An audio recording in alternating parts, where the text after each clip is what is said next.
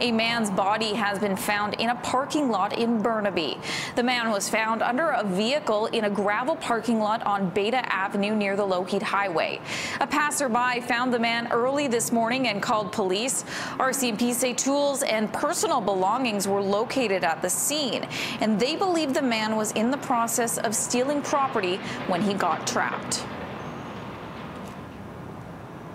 I can't say for certain uh, what the intended target was. Uh, I know there were some tools that were there. Uh, it, it, it, appears as he wasn't able to start um, whatever it was he was trying to get, so I can't say for certain. Uh, I think there's a lot of speculation that it's a catalytic converter because of the, the cost of those right now. Police have spoken with the man's family and say support is available to the person who found him.